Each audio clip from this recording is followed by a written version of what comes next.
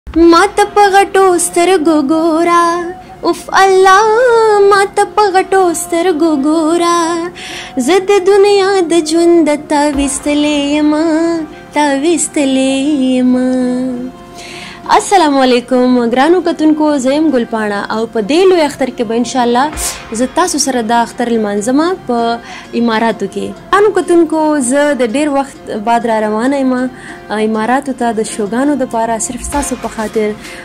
د دې شو ډایریکټر او پروډوسر دی عابد نسیم خان ګرانو کتونکو زموږ ړومبه شو د اختر پاول ورځ په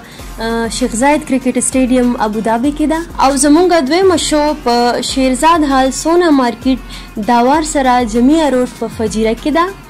زمونږ درېمه شو النخیل جوازات نشاته مصری کلب رسل خیمه کې ده او زمونږ څلورمه شو په پنځلسم اګست باندې د زیارت په ورځ المویجي دیوان داوار سیټي سیزن هوټل نشاته صالح وفا هال آلین کې ده زمونږ